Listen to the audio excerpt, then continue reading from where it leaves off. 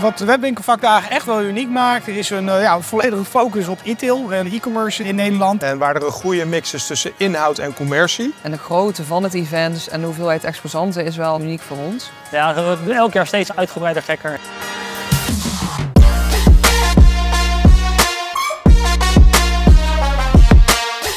We proberen altijd iets te doen wat er gewoon niet is. We willen onze bezoekers altijd iets geven in de vorm van een ervaring. Ze willen innovatie zien, ze willen zien wat er in de markt speelt. Daar gaat het uiteindelijk om.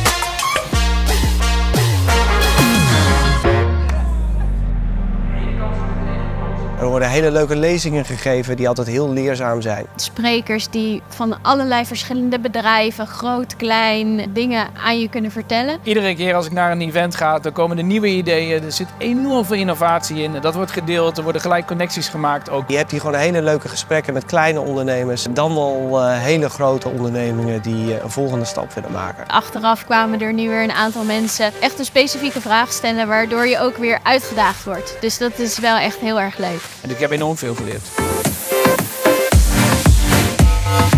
Dus je hebt je verpakkingen, je hebt je systemen.